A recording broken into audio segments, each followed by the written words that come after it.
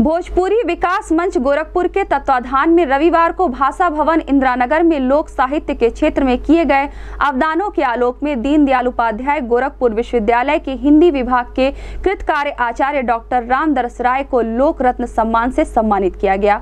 उपयुक्त सम्मान भोजपुरी के वरिष्ठ साहित्यकार और मंच के अध्यक्ष रविन्द्र श्रीवास्तव जुगानी ने अपने हाथों से प्रदान किया।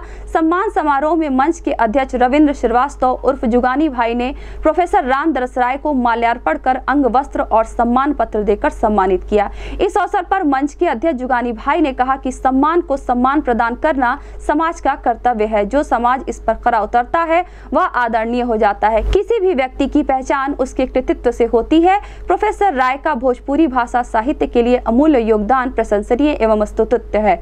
लगभग 40 भोजपुरी ग्रंथों की भोजपुरी में भूमिका लिखकर एवं भोजपुरी कवि कविता नाटक, संस्कार, गीतों एवं लोक गीतों पर शोध कार्य करवाकर माटी एवं भोजपुरी भाषा की सेवा की है। सेवा कृतज्ञता ज्ञापन का माध्यम है। इस संबंध में प्रोफेसर रामदरस राय ने कहा कि यह सम्मान भोजपुरी का सम्मान है। भोजपुरी माटी ने हमें गढ़ा है। इसी की गोद में खेल कूद कर हम बड़े हुए हैं। हमारी संस्कृति और संस्कार इसी में जीवंत है। भोजपुरी हमारी जीवन धारा है। इसका संरक्षण और संवर्धन से हम जीवन धारा को प्रवाहमान रखते हैं। भोजपुरी की सेवा कर हम अपनी महती भूमिका का निर्वहन करें और मातृभाषा भोजपुरी के प्रति अपनी कृतज्ञता ज्ञापित करें। इस संबंध में गोरखपुर न्यूज़ से बात करते हुए गोरखपुर विश्वविद्यालय के हिंदी विभाग के सेवानिवृत्त आचार्य डॉक्टर रामदरस राय और रविंद्र श्रीवास्तव उर्फ़ जुगानी भाई ने कहा। कहिएगा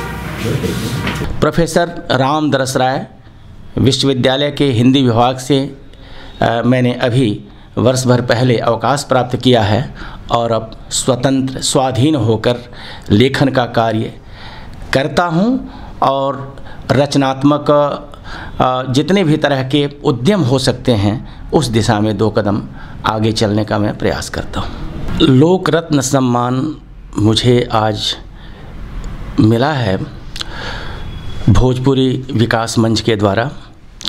भोजपुरी विकास मंच के अध्यक्ष, भोजपुरी के यशस्वी हस्ताक्षर डॉक्टर रविंद्र श्रीवास्तव जुगानी जी हैं।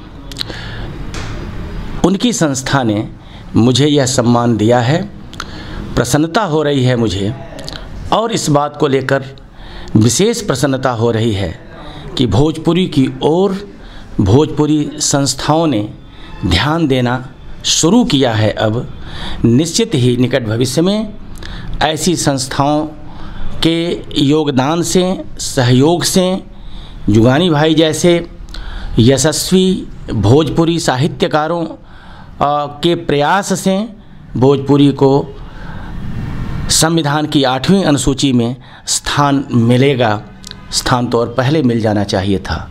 लेकिन राजनीति के इलाके में जाकर यह विषय रुक जाता है, अटक जाता है। अब साहित्यकार जगे हैं इस क्षेत्र में। भोजपुरी के साहित्यकार, विश्वविद्यालय और महाविद्यालय के प्राध्यापक और तमाम स्वयंसेवी साहित्यकार संगठन इस दिशा में सक्रिय दिखलाई पड़ रहे हैं। वह दिन अपने लिए प्रसन्नता का होगा जब भोजपुरी को आठवीं अनुसूची में स्थान प्राप्त हो जाएगा। रविंद्र श्रीवास्तव नाम है जुगानी भाई के नाम से लोग जानते हैं। भोजपुरी के विकास के लिए जो लोग लगे हुए हैं उनमें ये पुरस्कार दिया जाता रहा है ये संस्था देती रही है शुरू से, जब गिरीश राय वगैरह थे तब से। बीच में थोड़ी देर के लिए व्यवधान आ गया था कुछ दिनों के लिए। तो चूँकि भोजपुरी के विकास में एक अद्भुत योगदान doctor R D Rai ji का रहा है, लोगों को आगे बढ़ाना भोजपुरी को केंद्र में रख करके शोध कराना, ये बहुत रेयर चीज़ है, बहुत ही कम लोगों के अंदर अपने भाषा, अपने माटी के प्रति लगाव होता है। आप भी जानते हैं कि संसार की सबसे बड़ी बोली भोजपुरी है। ये linguistic survey of India graduation ने साफ़ साफ़ वर्ल्ड्स बिगेस्ट डायलेक्ट शब्द इस्तेमाल किया है। दुर्भाग्य यह है कि सबसे ज़्यादा अविकसित लोग पीछे लोग आ, मैं अर्थव्यवस्था की दृष्टि से बता रहा हूँ इसी भोजपुरी क्षेत्र के लोग हैं। कारण क्या है कि भाषा और भोजन का सवाल एक दूसरे से जुड़ा हुआ सवाल है। हमारे पास एक हज़ार समस्याएँ होंगे, लेकिन हम उनको व्यक्त करने के लिए हमारे पास कोई भाषा न होवे तो हम एक बिल्कुल एकदम निरर्थक हैं, बेकार हैं। जब हम अपनी बात ही नहीं कह पा रहे हैं तो हमारी बात कन्वे कैसे हो पाएगी? इसीलिए हमेशा जिसने भी ढंग से शासन करना चाहा है लोगों पर, पहला काम किया कि उसकी जिहवा पर आक्रमण किया है, उसकी जबान छीनने का काम किया है। वो अपने आप क्षेत्र गुलाम होता चला गया, गरीब होता चला गया है। अंग्रेज़ों ने इसको खूब ढंग से समझा। एक चीज़ और समझ लें कि लोकज्ञता और शास्त्रज्ञता दो धाराएँ हैं।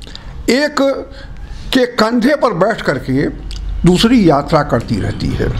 हमेशा देखे होंगे कि लोकज्ञता अपने ढंग से जिल बिना किसी सरकारी इमदाद के, सरकारी मदद के, वो अपने ढंग से चलती चली आ रही है। लेकिन उसी के कंधे पर जब जब शासन बदलता है तो अपनी भाषाएँ वो बदलता चला जाता है। संस्कृत कभी था। संस्कृत के बाद में फ़ारसी हुआ, फ़ारसी के बाद में उर्दू आया, उर्दू के बाद में देखा अंग्रेज़ी आई। लेकिन राजभाषा बदलती रही। लोक भाषा जहाँ थी, वहीं की वहीं रह गई। ये सबसे बड़ी खूबी है। और इसी के बल पर ये अभी तक टिकी हुई है। इस धारा के इन धाराओं की विपरीत तैरने वाला अगर कोई है तो उसको निश्चय ही सम्मानित होना चाहिए, उसको सम्मान दिया जाना चाहिए। उसी क्रम में ये संस्था ये काम कर रही है।